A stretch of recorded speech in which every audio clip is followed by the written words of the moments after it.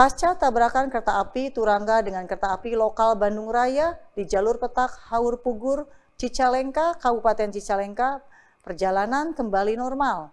Selain itu, kecepatan kereta api dinaikkan menjadi 60 km per jam dari sebelumnya 20 km per jam. Pasca tabrakan KA Turangga dengan KA lokal Bandung Raya di jalur petak Haur Pungur Cicalengka, Kabupaten Cicalengka, perjalanan kembali normal. Sebelumnya kecepatan dari kereta api di jalur petak Haur Punggur Cicalengka ini hanya dapat dilalui dengan kecepatan 20 km per jam. Namun saat ini kecepatan kereta api yang melintas pada jalur tersebut kembali dinaikkan menjadi 60 km per jam.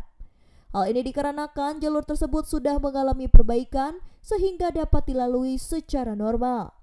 Menurut manajer Humas Daop 2 Bandung, Pasca normalisasi jalur kereta api dapat dilalui dengan kecepatan 20 km per jam, namun saat ini kecepatan ditambah menjadi 60 km per jam berangsur normal.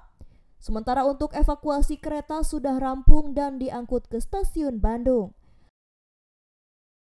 Tadi update pukul 12.00, kereta api boleh melalui jalur tersebut dengan puncak kecepatan 60 km per jam.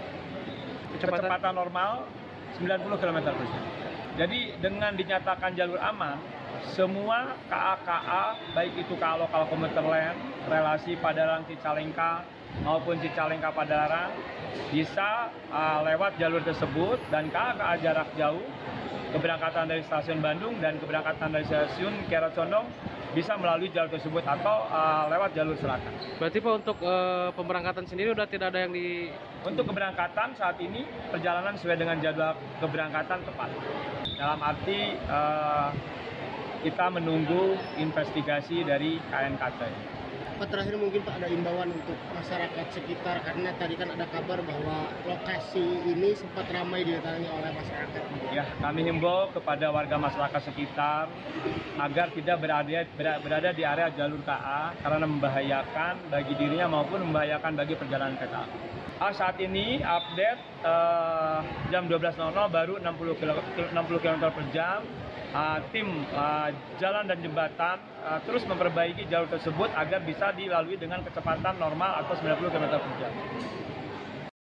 Seperti diketahui, tabrakan kereta api Turangga dengan KA lokal Bandung Raya memakan korban sebanyak empat orang meninggal dunia di kawasan Jalan Petak Haur Pungur, Cicalengka pada Jumat pagi lalu.